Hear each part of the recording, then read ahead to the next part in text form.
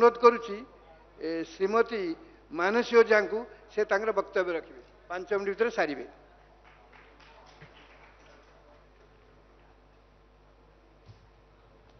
ଜୟ ଜଗନ୍ନାଥ। ଉପସ୍ଥିତ ମଞ୍ଚାସୀନ ଅତିଥି ମହୋଦୟ ଏବଂ ସମସ୍ତ ଚାଷୀ ଭାଇମାନଙ୍କୁ ମୋର ନମସ୍କାର।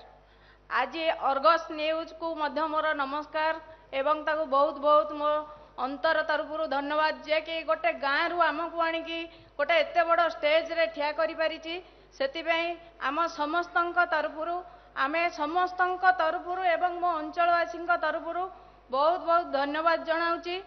ଏବଂ ଆଜିର ଯେଉଁ ବିଶେଷ କରି କରାଯାଇଛି ପ୍ରୋଗ୍ରାମଟା ସେଇ ପ୍ରୋଗ୍ରାମ ବିଷୟରେ କହିବାକୁ ଯାଉଛି ଯେ ଏମାନେ ଆଜି ଆମକୁ ଯେଉଁ ଜାଗାରେ ଠିଆ କଲେ ସେଥିପାଇଁ ମୁଁ ବହୁତ ଖୁସି ଅଛି। ଆଉ ଗୋଟେ କଥା କହୁଛି ଯେ ଆମର ରାଷ୍ଟ୍ରୀୟ ବନସ୍ପତି ସଂସ୍ଥା ଲକ୍ଷ୍ନୌର ଅଜିତ କୁମାର ଶାସ୍ତ୍ରୀଙ୍କୁ ନମସ୍କାର ଜଣାଉଛି ଏବଂ ଆମର ଯେଉଁ ମା' ମାନେ ଅଛନ୍ତି ତାଙ୍କୁ ମୋର ମୋର ସ୍ନେହାଞ୍ଜଳି ଜଣାଉଛି। ମେନ୍ କଥା ହେଉଛି ମୁଁ ଆଜି ହେଉଛି ଇଶାଣୀ ବ୍ରହ୍ମପୁର ଗାଁରୁ ଆସିଛି ନାମ ହେଉଛି ମାନସୀ ଓଝା ଏବଂ ଆମର ଏଇ ଯେଉଁ ପୁଷ୍ପ କୃଷି ଉପରେ ଯେଉଁ ଯୋଜନାଟି ରହିଛି ସେଥିରେ ମୋର ଫ୍ଲୋରିକଲଚରକୁ କିଭଳି ଆଡ଼ିସନ୍ କରାଯାଇପାରିବ ଭ୍ୟାଲ୍ୟୁ ଆଡ଼ିସନ୍ ସେୟାକୁ ନେଇକି ମୋର ପ୍ରୋଗ୍ରାମଟା କରିଛି।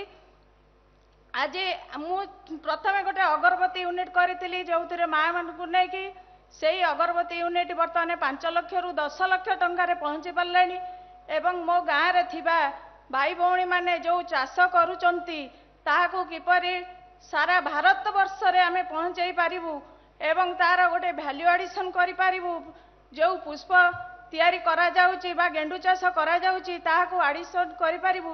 ସେଥିପାଇଁ ମୁଁ ଅଜିତ ସାର୍ଙ୍କ ସହିତ ମଧ୍ୟ ଆଲୋଚନା କରିଥିଲି ଏବଂ ସେ ମଧ୍ୟ ମୋ ସହିତ ଆଲୋ ଆଲୋଚନା କଲା ପରେ ଏବେ ଆମେ ସେଥିରୁ ଅଗରବତୀ ମଧ୍ୟ ପ୍ରସ୍ତୁତ କରୁଛୁ।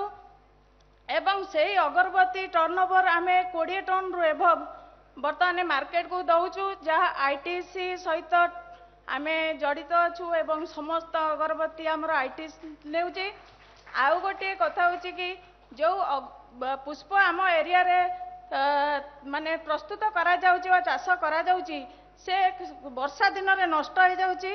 ସେହା କିପରି ନଷ୍ଟ ନ ହେବ ଏବଂ ତାର ଭ୍ୟାଲ୍ୟୁ ଆଡ଼ିସନ୍ କରିକି ଆମେ ଅଭିର ତିଆରି କରିବୁ ସିନ୍ଦୁର ତିଆରି କରିବୁ ଏବଂ ତାହାକୁ ନେଇକି ପ୍ରତି ଗାଁ ଗହଳିରେ ପହଞ୍ଚେଇବୁ ଯେ ସମସ୍ତଙ୍କର ଚାଷୀମାନେ କିପରି ଅଧିକରୁ ଅଧିକ ରୋଜଗାରକ୍ଷମ ହେଇପାରିବେ ଏବଂ ଚାଷ ପ୍ରତି ସମସ୍ତେ ଟିକେ ଆଗକୁ ଯାଇପାରିବେ।